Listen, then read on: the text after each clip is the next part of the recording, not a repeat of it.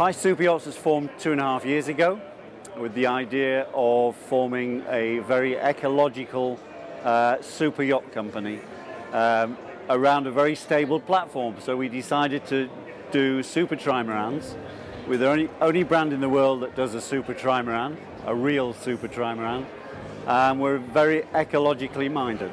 We wanted something that would sail around the world with virtually zero carbon emissions. Uh, we've more or less achieved that, and we're still working on doing the zero carbon emissions. Um, but we can sail around the world in total luxury on our 25 meter dragon ship with one tank of fuel. I think it's the way the world has to go. We have to stop relying on, uh, on carbon fuels.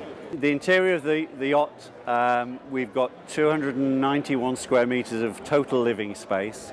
It sleeps 10 people in total luxury and it's the equivalent of a, it is a true super yacht.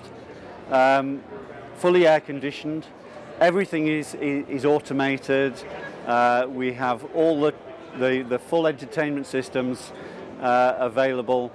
Um, so we're not trying to be achieve a lightweight vessel, but with our auto sail, we can achieve speeds of 22 knots plus uh, in good winds.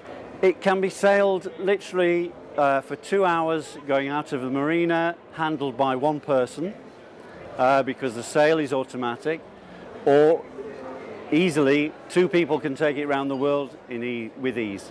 We should be ready uh, with the 25 metre um, built and finished for the Monaco show next year, 2017. Uh, so we hope to get there on time. Uh, so we would imagine beginning of September sea trials will have finished. This show so far has been very good. Um, we've had a few interested parties looking uh, at, the, at, the, yachts, the different yachts, three different yachts we're showing here.